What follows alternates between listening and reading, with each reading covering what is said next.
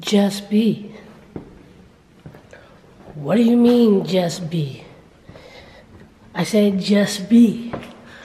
What do you mean, just be? Let me explain.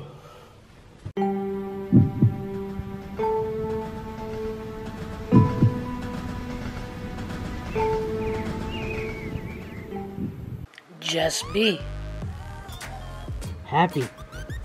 How many times did you say, when I get that, I'll be happy. When I get that job, I'll be happy. When I get that million dollars, I'll be happy. And then you're not happy. The trick is to be happy now. Just be happy now. Just be. Love. How many times have you said to yourself, I wish I had someone to love? I wish someone would love me. Why doesn't anybody care?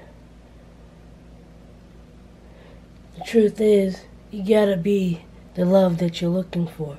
You gotta find it in here. You gotta find the love within before you can get the love without.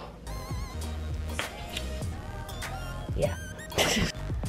Just be strong. How many times did you want to quit? How many times did you try to reach for your dreams, get that job, do whatever it is, and felt like you couldn't take that next step? You couldn't do that next push up. I'm just telling you, just be. Just be strong. Because you have it within you to be. Just be kind.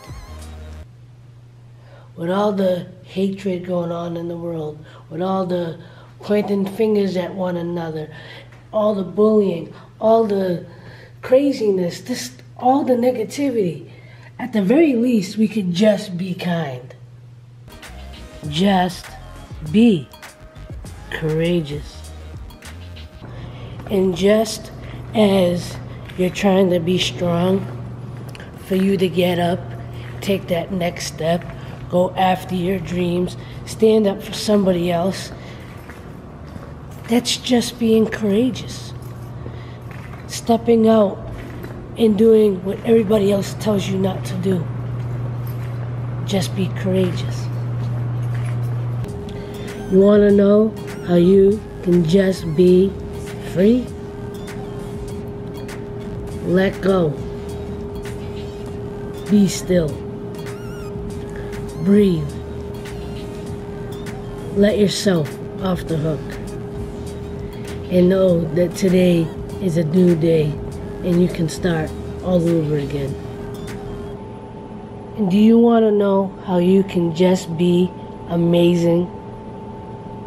By just being you. There's nobody else better than you. You gotta love yourself. You gotta find reasons to be happy.